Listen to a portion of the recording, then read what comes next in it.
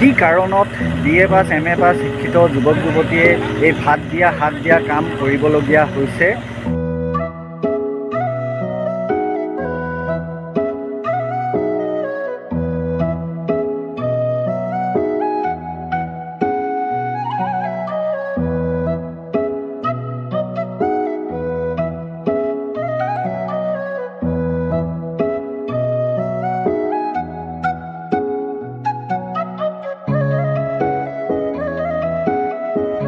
নমস্কাৰ। মই বিশ্ব গগৈয়ে বিশ্ব ইভেণ্ট ব্লগাৰ নামৰ ইউটিউব চেনেললৈ আপোনালোকক স্বাগতম জনাইছোঁ। আপোনালোকক আগতে দেখুৱাইছিলোঁ যে কিদৰে আমি প্ৰায় ডেৰশ যুৱক যুৱতীয়ে কেটাৰিঙৰ যোগেদি আমি কৰ্ম কৰি উপাৰ্জন কৰিবলৈ সক্ষম হৈছোঁ। আজি আপোনালোকক আকৌ এটা অনুষ্ঠানৰ বিষয়ে আমি আজি জনাম। আজি আপোনালোকক দেখুৱাম লাকুৱাৰ এটা অনুষ্ঠান যিটো অনুষ্ঠানত আমি কেৱল কেটাৰিঙৰ বাবে আহিছোঁ। মোৰ ইউটিউব চেনেলটো আপোনালোকে কিয় চাব লাগে? আপোনালোকে ঘৰত বিভিন্ন ধৰণৰ অনুষ্ঠান পাতে। আপোনালোকে নিজৰ আপোনজনৰ বিয়া বিয়া পাতে জন্মদিন পাতে তথা যিকোনো অনুষ্ঠান পাতে কিন্তু আপোনালোকে যেতিয়া সেই অনুষ্ঠানৰ বাবে খাদ্য ৰন্ধনৰ বাবে বা পেণ্ডেলৰ বাবে আপোনালোকে বিপাঙত পৰে যে কাক ল'ম কাক নল'ম। আপোনালোকক মই দেখুৱাই যাম কোনজন ৰান্ধনীয়ে কিমান সুন্দৰভাৱে খাদ্য প্ৰস্তুত কৰে কিমান হাইজেনিকভাৱে খাদ্য প্ৰস্তুত কৰে তথা কোনজন ৰান্ধনীৰ খাদ্য খাই আপুনি হাকিবলগীয়া পৰিস্থিতি হ'ল? সেয়া আমি দেখুৱাম আৰু লগতে দেখুৱাম বিভিন্ন ধৰণৰ আটকধুনীয়া পেণ্ডেলসমূহ যিসমূহ পেণ্ডেল কম মূল্যতে পাব পাৰি। সেইসমূহ আমি দেখুৱাম। চাই থাকিব মোৰ অনুষ্ঠান। তাৰ জৰিয়তে আপোনালোকে আপোনালোকৰ অনুষ্ঠানসমূহ সুন্দৰভাৱে উদযাপন কৰি- কৰিবলৈ সক্ষম। আইঅ যিটো ৰাস্তা তাতে টিকাতে বিপুহা উঠি আছে একদম পাই গৈছোঁ চুটুকা। তথাপিও অনুষ্ঠান কৰিবই লাগিব দায়িত্ব ল'বই লাগিব। আহিবলগীয়া হৈছে। একদম ৰাস্তা চব কি ৰাস্তা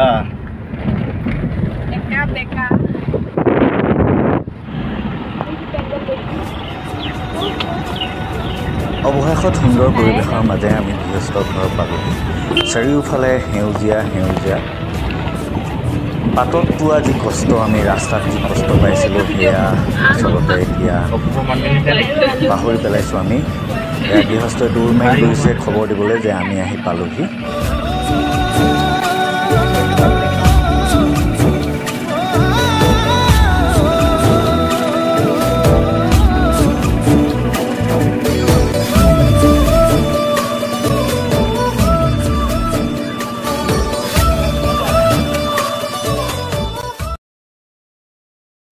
জেঠ মাহৰ প্ৰচণ্ড গৰম সেয়ে যুৱক যুৱতীসকলে অলপ জিৰণি লৈছে আৰু গৃহস্থই ইয়াতে আমাক চাহেৰে আদৰণি জনাইছিল। আহক আমি জানো B A pass M A পাছ কৰি কিয় শিক্ষাৰ কথাটো ক'লে জহুৱা নিচিনা হ'ব নিজক জহুৱাৰ দৰে হ'ব। তথাপিও আচলতে শিক্ষাৰ কথাটো এই কাৰণেই কৈছোঁ যাতে বিভিন্ন আচলতে যুৱক যুৱতীয়ে হয়তো ভাবি থাকিব পাৰে মনত যে মই ইমান পঢ়িলোঁ মই এনেকুৱা সৰু কাম কৰোঁ নেকি? কৰিম জানো? আচলতে এয়া বহুত মানুহৰ আচলতে মানসিকতা এয়া অপ্ৰিয় হ'লেও সত্য কথা যে বহুতে এই ধৰণৰ কামবিলাক আমাৰ অসমত এতিয়াও ইমান মানে আপোনাৰ সহজভাৱে লোৱা নাই। সেয়া আমি কামৰ জৰিয়তে আমি ইতিমধ্যে প্ৰমাণ পাইছোঁ। সেইকাৰণেহে আমি আন দহজনে যাতে এই পথ আঁকোৱালি ল'ব পাৰে। যিটো পথত আজি বাহিৰৰ পৰা অহা ব্যক্তিসকলে আহি লাখ লাখ টকা উপাৰ্জন কৰি আছে আমাৰ যিবিলাক কাম আমি দৈনন্দিন আমি ঘৰত কৰি থাকোঁ গাঁৱত কৰি থাকোঁ সেই কামসমূহৰ জৰিয়তে যি আমি সুন্দৰভাৱে উপাৰ্জন কৰিব পাৰোঁ সেয়া আমি দেখুৱাবলৈ চেষ্টা কৰিম আৰু মনৰ ভাৱ বুজিবলৈ চেষ্টা কৰিম। এয়া এগৰাকী যুৱতী দেখুৱাইছোঁ। আচলতে উম, বিষয়ে মই নকওঁ তেওঁৰ মুখেৰে শুনো তেওঁ ক'ব। তেওঁ আচলতে নিজে হয়তো নক'ব মই সেয়া সুধি দিছোঁ। মই জানো কিন্তু আপোনালোকক জনাব বিচাৰিছোঁ। আচল কথা এটাই উদ্দেশ্য এয়া জহুৱা নহয় কোনো আমাৰ আমাৰ অসমীয়া পাকঘৰ যুৱতীসকলৰ বিষয়ে আমি জহাব বিচৰা নাই কিন্তু আমি এয়া জনাব বিচাৰিছোঁ ৰাইজক যাতে আন দহজন মানুহেও এনেকুৱা কাম কৰিবলৈ সাহস আৰু প্ৰেৰণা পায়। তোমাৰ নামটো কোৱা? হয় অকণমান ডাঙৰকৈ ক'বা। হয় হয়। তুমি কি পঢ়িলা? ইতিমধ্যে কি পঢ়িলা? বা কি পঢ়ি আছা? মই এতিয়া মাষ্টাৰ্ছ কৰি আছোঁ। মাষ্টাৰ ডিগ্ৰী কৰি আছা? হয় ক'ত কৰিছা? মই ইংলেণ্ডত কৰি আছোঁ। হয়, হয়। যোৰহাটত আছিলে আগতে এতিয়া মই ট্ৰান্সফাৰটো ল'লোঁ শিৱসাগৰ গাৰ্লছত হয় আমি জানিব পাৰিছিলোঁ যে তুমি এটা ব্যক্তিগত বেংকত কৰ্মৰত আছিলা। তথাপিও এই অসমীয়া পাকঘৰ অনুষ্ঠানটোৰ প্ৰতি কিদৰে আকৰ্ষিত হ'লা? মানে মই ফাইনেন্সিয়েল এটা মানে কোম্পানী কৰি আছিলোঁ। মানে ঘৰৰ পৰা দূৰত থাকি যিহেতু কৰিব লগা হয় তাৰপিছতে আৰু এইটো প্ৰথমতে ক'ব লাগিব বিশ্বদা বিশ্বদা আমাৰ ইয়াত ঘৰৰ ওচৰতে যিহেতু তেওঁ গোটেই কথাখিনি প্ৰথম কৈছিলে মোক। মই শুনি ভাল লাগিছিলে কিন্তু তেতিয়া মই মানে সেই কোম্পানীটোতে আছিলোঁ। কিন্তু ঘৰলৈ আহিলোঁ আহি এতিয়া বিশ্বদাৰ লগতে কৰি আছোঁ। ভাল লাগিছে। তুমি ইয়াৰ পৰা উপাৰ্জনৰ কথা ক'ব নালাগে কিমান উপাৰ্জন কৰিছা কিন্তু তোমাৰ উপাৰ্জনৰ পৰা কিবা অসুবিধা হৈছে নেকি? বা কেনেদৰে তুমি ধুনীয়াকৈ চলিছা নে অসুবিধা হৈছে সেয়া আছোঁ হয় এয়া জনালোঁ এগৰাকী যুৱতীৰ কথা। আন এগৰাকী যুৱতীৰ বিষয়ে জনাম এয়া তোমাৰ নামটো কোৱা? হয় তোমাৰ শিক্ষা জীৱনৰ বিষয়ে কোৱা? মই গ্ৰেজুৱেশ্যন কমপ্লিট কৰিলোঁ বৰগাঁও কলেজৰ পৰা। হয় কি কেনেধৰণে পাছ কৰিছিলা তুমি? Seventy nine point four. Percentage আছিলে তাৰপিছত এতিয়া D O' D L Dibrugarh ইউনিভাৰ্চিটিৰ আণ্ডাৰত মাষ্টাৰ ডিগ্ৰী কৰি আছোঁ পলিটিকেল চায়েন্সতে বৰ্তমান মই প্ৰথম ছাত্ৰী মাষ্টাৰ ডিগ্ৰী কৰি থকা পাছতো তুমি যে এই শাক ভাত দিবলৈ আহিলা আচলতে তোমাক কোনেও ঘৰত মানে বাধা দিয়া নাই নেকি? বা তোমাৰ অসুবিধা হোৱা নাই নেকি? যে শাক ভাত দিবলগীয়া হ'ল যে তুমি? আচলতে পইচা পাতিৰ ক্ষেত্ৰত মানে পিছ পৰি পিনে বা এনেকুৱা ক্ষেত্ৰত অহা নাই মই নিজকে কিবা এটা আত্মনিৰ্ভৰৰ বাবেহে ওলাই আহিছোঁ। কিবা এটা কৰিম বুলি নিজে নিজৰ ওপৰত আত্মনিৰ্ভৰশীল হ'ম বুলি ওলাই আহিছিলোঁ সেইবাবে ওলাই আহিছোঁ ঘৰৰ বিশেষ একো তেনেকুৱা ধৰণৰ বাধা নাছিলে বাৰু কৰাত যিকোনো কামৰ সৰু বৰ নাই যিহেতু ঘৰত পাৰিবি কৰ এনেকৈ কৈছিলে আহ, কেতিয়াও নিৰাশা কৰা নাই আজিলৈকে সেই আহি আছোঁ ভৱিষ্যতৰ বিষয়ে কিবা ক'বা নেকি? যে এই অসমীয়া পাকঘৰৰ লগত জড়িত হৈ থাকি কেনেকুৱা পাইছা বা আগলৈ কাম কৰি যাবানে? নিশ্চিতভাৱে ভাল পাইছোঁ। আচলতে মানুহৰ সমাদৰ পাইছোঁ যথেষ্ট পৰিমাণে। ভাল লাগিছে আৰু যেতিয়ালৈকে নিজকে নিজে অন্য কিবা এটা নাপাওঁ তেতিয়ালৈকে অসমীয়া পাকঘৰৰ এগৰাকী সদস্য বুলি ক'বলৈ গৌৰৱবোধ কৰিম। এইফালে আন এগৰাকী যুৱতী দেখুৱাইছোঁ। এই যুৱতীগৰাকী অৰুণাচলত সৰুৰ পৰা তাই অৰুণাচলত থকা। এইগৰাকী যুৱতীৰ বিষয়ে আমি জানো আহকচোন। কোৱা তোমাৰ বিষয়ে কোৱা তোমাৰ শিক্ষাগত জীৱনৰ বিষয়ে এই কাম কৰিবলৈ কিয় আগ্ৰহী হ'লা? যে মই পইচা অভাৱত পৰি ইয়ালৈ আহিছোঁ। সৰুৰ পৰা মানে যি যি বস্তু লাগে মা দেউতাই মোক চব দি আহিছে ভাল স্কুলত পঢ়াইছে ভাল চব বস্তু পাইছোঁ। মই এইটো সেইকাৰণে জইন কৰিছোঁ যাতে মই এটা নতুন এক্সপিৰিয়েঞ্চ হ'ব পাৰোঁ মোৰ ছ'চিয়েল লাইফ ইনক্ৰিজ হ'ব পাৰে মোৰ মানে মেণ্টেল পাৱাৰ ষ্ট্ৰং হ'ব পাৰে। যাতে মই ক'ৰবাত গ'লে মানে ভয় কৰি নপৰোঁ মই অকলে ট্ৰেভেল কৰিব পাৰোঁ। জাষ্ট মানে মোৰ নিজৰ এটা নতুন এক্সপিৰিয়েঞ্চৰ কাৰণে। আৰু যাতে মই মানে কিবা কিবা হ'লে মানে কাৰো আগত যাতে হাত পাতিব লগা নহয়।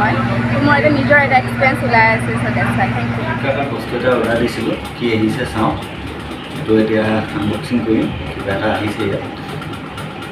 বেলি কটাৰীখন লৈ আনাচোন। কটাৰীখন আনা।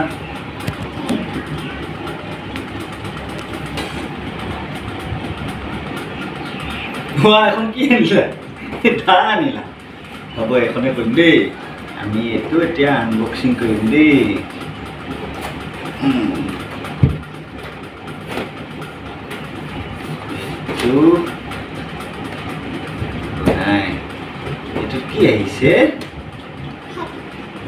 এইটো কিবা এটা অৰ্ডাৰ দিছিলোঁ দেই এইটো বয়া মাইক এইটো আহিলে দেই এইটো ব্লগ কৰিবলৈ আমি বয়া মাইক মাইক এটা দিছিলোঁ আচলতে কি ধুনীয়া পাউচ এটা আহিছে চব ইয়াৰ ভিতৰত চাম কি আহিছে আহা যদি আহা ইফালে চোৱাহি আকৌ এইটো মেইন বস্তুটো আচলতে আৰু কিবা আহিছে নেকি চাওঁ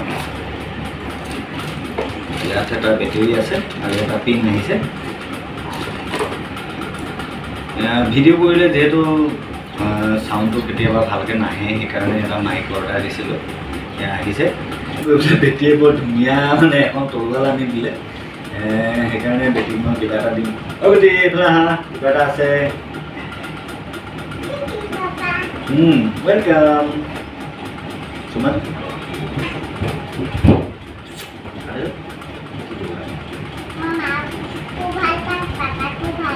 হয় নেকি থেংক ইউ এইবাৰ আমি কাম কৰিবলৈ সোমাই গৈছোঁ।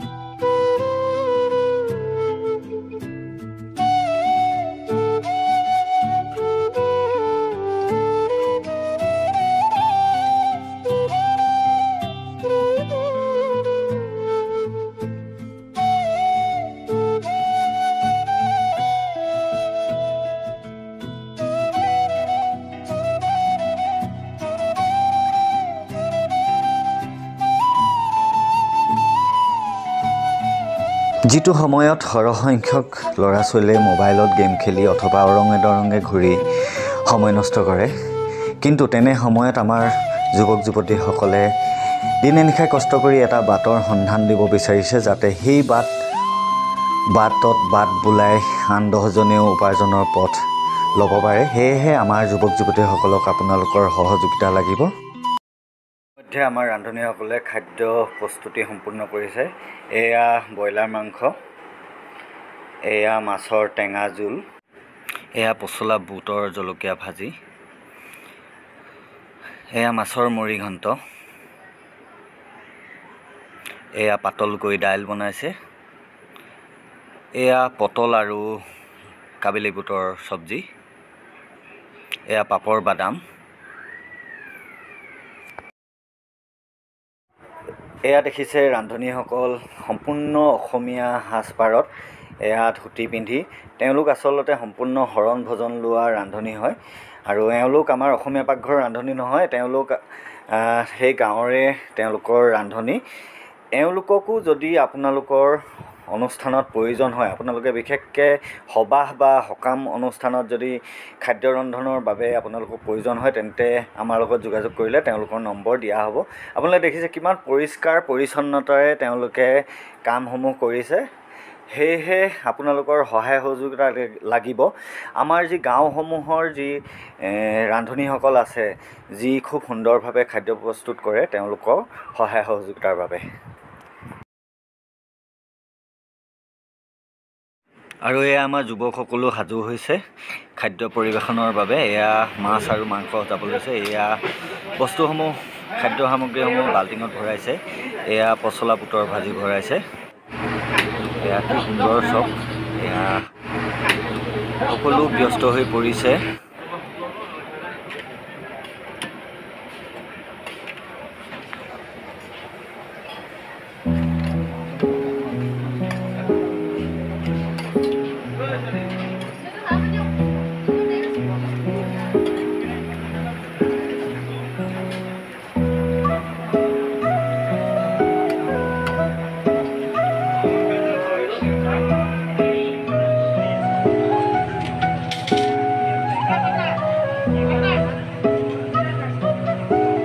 ইতিমধ্যে আমাৰ পৰিৱেশনৰ কাম আৰম্ভ হৈছে।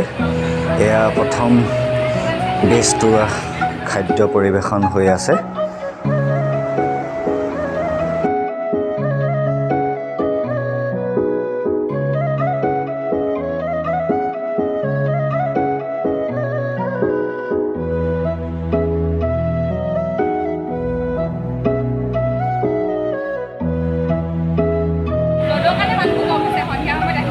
মানুহগৰাকীক মাতিব লাগিব। এই যে ৰ'দ কমাই যে যন্ত্ৰ এটা লৈ।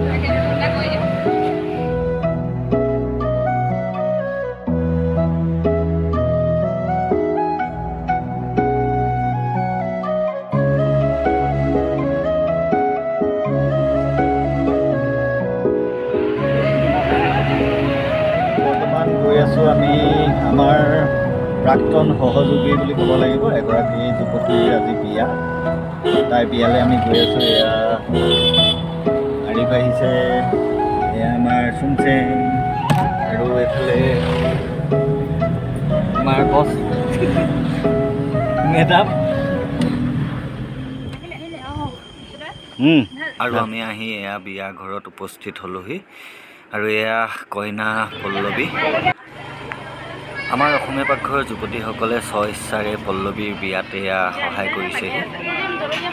প্ৰিন্সি লাগিছা তাৰপিছতে মেঘ গৈছে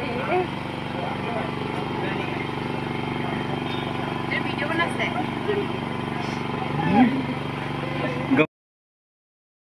বিয়া খাই আহি লাকুৱাৰ অনুষ্ঠানটো পাওঁ মানে দৰা আহিলে। সেয়া দৰা ঘৰীয়াক খাদ্য পৰিৱেশন কৰি আছে আমাৰ যুৱক যুৱতীসকলে দৰা ঘৰীয়াই খাদ্য খাই শেষ হোৱা মানে নিশা প্ৰায় বাৰ বাজিছিল আৰু আমাক গৃহস্থই বিদায় জনাইছে। গৃহস্থ ক'লা নাই?